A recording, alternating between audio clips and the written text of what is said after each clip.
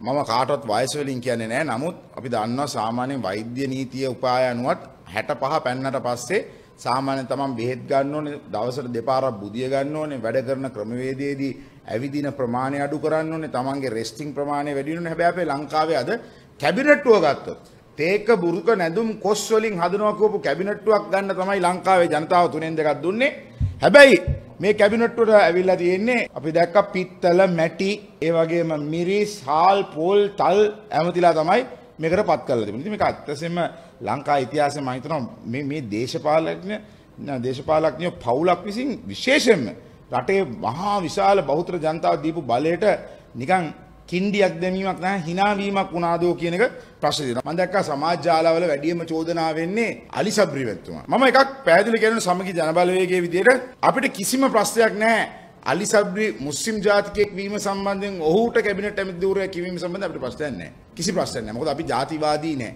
අපි ආගම්වාදී නැහැ. අපි කුලවාදී නැහැ. අපි උස් පහත් ભેදෙන් සලකන්නේ නැහැ. නිසා මේ රටේ සියලු ශ්‍රී ලාංකිකයට සමාන තැන තිය යුතුයි කියන විශ්වාසය අපිට වෙනවා. ප්‍රශ්නේ තියෙන්නේ ඒක නෙමෙයි. අලිසබ්‍රි කියන්නේ කවුද කියන එක පිළිබඳ ප්‍රශ්නයක්. අලිසබ්‍රි කියන්නේ පහුගිය ආණ්ඩුව කාලේ අපේ ආණ්ඩුව තියෙන කාලේ තනිකර ගෝඨාභය රාජපක්ෂ මැතිතුමා සහ මහින්ද රාජපක්ෂ මැතිතුමා ඇතුළු විශේෂයෙන්ම අති විශාල දූෂණ ගණනාවකට 14 දෙනෙක් කැබිනට්ටුවේ ඉන්න කටියට නඩු තියෙනකොට නඩු වලට පෙනී හිටපු මිනිහා තමයි ලංකාවේ අධිකරණ ඇමති. ඒකම කිව්ව පටන් ගත්ත තැනම ලොප්පුණා කියලා මේ රටේ මුරංගන මුර දේවතාව කියන්නේ අපේ අපේ උසාවිය. එහෙම නැත්නම් ජුඩිෂියරි එක අධිකරණේ. අද අධිකරණයේ කටයුතු වලට තමන්ගේ සේවා දායකය වෙනුවෙන් පෙනී සිටපු මිනිස්යාව අද අධිකරණ ඇමති කරලා තියෙනවා. මේක තමයි අද මට කියන්න තියෙන්නේ අද කතා කරන්නම සිදුවෙච්ච දේ කොච්චර භයානකද කියන එක. මොකද ලංකා ඉතිහාසයේ වෙලා නැති දේවල්නේ. අපි අහලා තියෙනවද? අපි අහලා තියෙනවද පිත්තල ඇමතිලා? අපි අහලා තියෙනවද මැටි ඇමතිලා?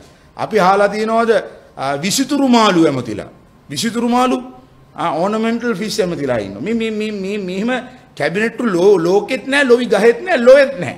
මේක හරි හරි අපහාසාත්මකයි. මම හිතනවා මේ ඇමතිවරුන්ට උනත් තමන්ගේ පුදුම වහල්භාවයක් ඔප්පු කරලා පෙන්නනවා ඒ වගේ අර නිකන් අපේ භාෂාවෙන් කියන කබ්බ ඇමතිකම් දෙනකොට. එහෙම එහෙම ඒව ඇමතිකම් මං අහනවා එතකොට ඇත්තටම රටක මෙච්චර කල් 1948 නිදහසෙන් පස්සේ මෙහෙම ඇමතිකම් ලෝකෙවත් දීලා තියෙනවා.